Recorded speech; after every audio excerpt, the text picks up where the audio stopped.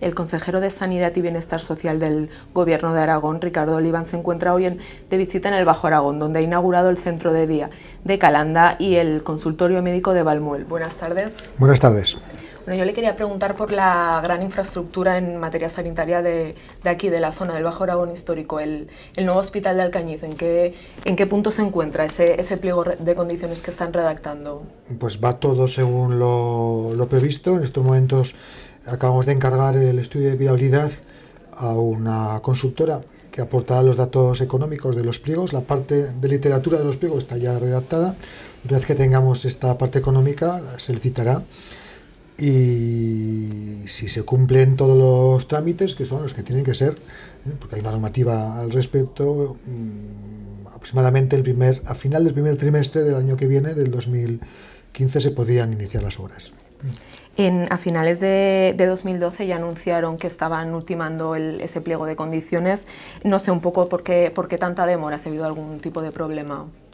Algún problema administrativo sí, que ha habido, porque hay que tener en cuenta que es una fórmula de colaboración, no quiero decir novedosa, porque está más que experimentada en el conjunto de España, pero que requiere analizar detenidamente muchos aspectos. Hemos preferido perder un poquito de tiempo para hacerlo bien y evitar posteriormente problemas.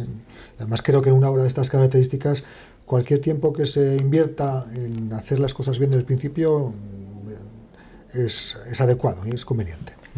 Eh, se teme desde Alcañiz que esas 17.000 firmas que ha presentado la plataforma en defensa de los servicios públicos del Bajo Aragón histórico en contra de esta, de esta fórmula y también la, la presión de la oposición, pues eh, pueda, pueda retrasar este, este proceso. ¿Esto, ¿Esto es así? En ningún caso, yo lo digo en ningún caso. Yo respeto la opinión de los 17.000 que han firmado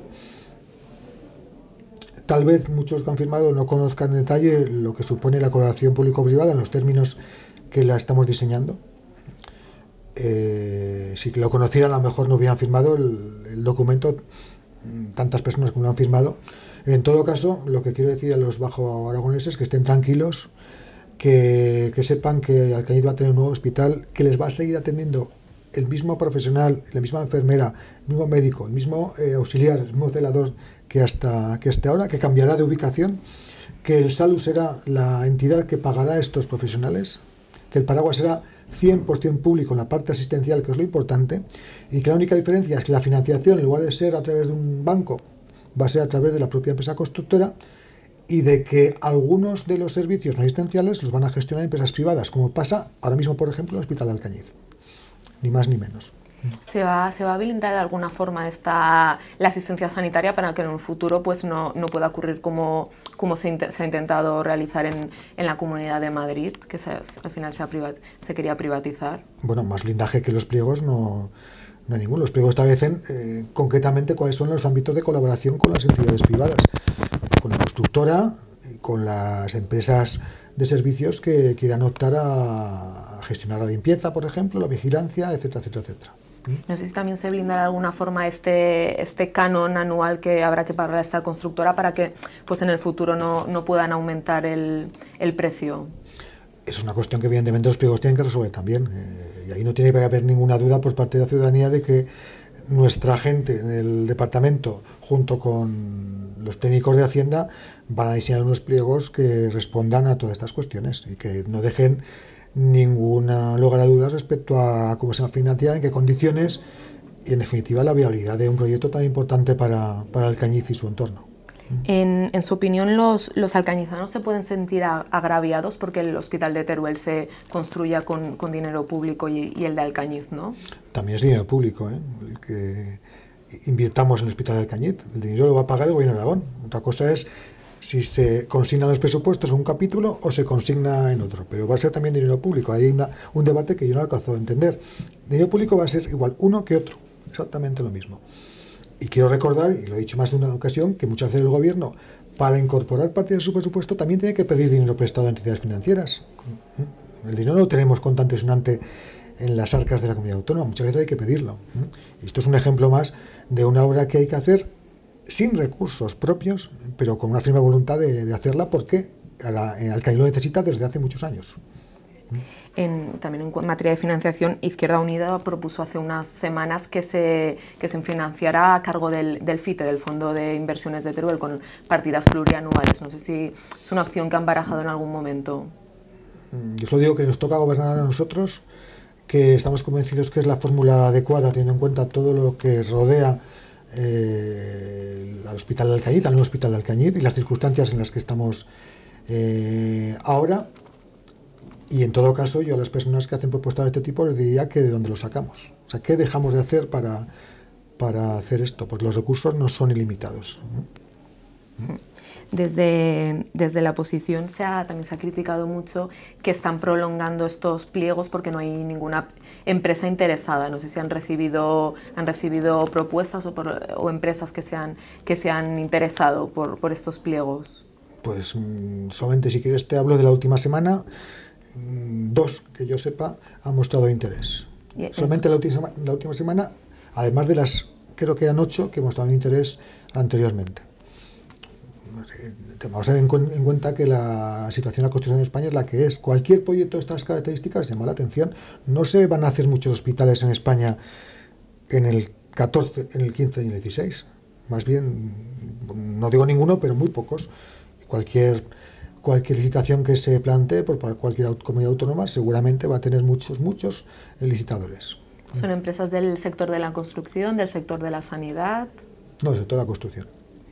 Desde la oposición también se ha criticado pues, esos plazos que comentaba usted de el primer trimestre de 2015 eh, coincidiendo con la pre-campaña electoral que se trataría de un, de un acto electoralista. Hombre, electoralista es poner una piedra pero más electoralista es decir que se va a poner y no se pone también en vísperas de las elecciones, que es lo que pasó anteriormente. Nosotros vamos a poner una piedra que va a ser el inicio de, de una serie, de una solución de piedras que conllevarán a la construcción de un hospital nuevo en Alcañiz. El, ¿En cuánto se, se, podría, se podría construir el, el hospital, el terminar? Eh, podemos hablar de un plazo de tres años. ¿eh? Luego, en función de determinadas cuestiones de la propia construcción, se puede se puede acortar algún plazo, pero rondaría los tres, los tres años. Le quería preguntar sobre la, otro tema sobre la fusión de los, de los sectores de los sectores sanitarios en Aragón. Se ha anunciado la fusión del de Teruel y el de Alcañiz. No esto qué, beneficios puede, conllevar, por qué. Pues una cuestión, una medida estrictamente de gestión que no tiene eh, que tener y no va a tener ninguna repercusión sobre el paciente. Es lo que, lo que he dejado muy claro respondiendo a algunas dudas, algunos posicionamientos que, he leído. Eh, es una medida exclusivamente de, gestión y de organización, por tres razones. Una, para dar un paso más respecto a una cuestión que consideramos fundamental, que es homogeneizar las decisiones. Partíamos de ocho sectores. Ahora tenemos ocho con cuatro gerentes y tenemos que dar pasos hacia un sistema de toma de decisiones más homogéneo. En segundo lugar, eh, facilitar un derecho que tiene el paciente que es la libertad de elección del médico. Ahora hay unas fronteras virtuales, que son los sectores sanitarios, que impiden la libertad de, elección. Aquí a lo mejor no se observa tan claramente porque el hospital más próximo de la provincia está a 150 kilómetros, pero en Zaragoza, por ejemplo, eso es una evidencia que conlleva poder o no cruzar una calle. Y en, y en, tercer, en tercer lugar, una cuestión que creemos que es muy importante de cara a la mejora de la asistencia y de la calidad de la asistencia es la integración de, servicios para favorecer y reforzar aquello que, funciona bien. Que se puede plantear de la misma manera entre el clínico y el Servet, pero también entre Alcañiz y Teruel. Y a futuro, si seguimos con este proceso, posiblemente entre Alcañiz y Zaragoza, o entre Huesca y Zaragoza. Y eso al final va en beneficio de, los ciudadanos. o sea, aprovechar lo bueno que tenemos, reforzar lo bueno que tenemos e integrar servicios en beneficio de la asistencia. Pero el paciente, si nota algo, si nota algo, será mejoras. Los, los, profesionales algunos ya han alertado que esta fusión pues puede, puede suponer recortes y también pues alejar aún más la, la administración del, del, ciudadano. En todo caso, recortes de cargos directivos. Sí, lo de recortes de cargos directivos. Que es lo que se, sanitaria lo que se Recorte de cargos directivos. Por mm. último, le quería preguntar, a mediados de 2012 se anunció que el Gobierno de Aragón comenzaría en Alcañiz una auditoría de todos los, de todos los hospitales. No sé qué... De, los, pequeños. Bueno, de los pequeños. No sé qué, resultados ha revelado en, Se está ya hecha desde hace ya un tiempo. la hemos analizado detenidamente y parte de las cosas que viene en tienen, tienen que tener con la constatación de, de temas que nos imaginábamos pero que no teníamos eh, constatados. Hay todavía mucho margen, mucho margen de actuación de, nuestros profesionales en horario ordinario, mucho margen. En algunos sitios más que en otros, y en el Cañita hay margen suficiente para todavía aprovechar mejor nuestros quirófanos eh, y el horario ordinario de trabajo de los profesionales. Principios de 8 a 3, con continuación por la tarde, pero fundamentales de 8 a 3.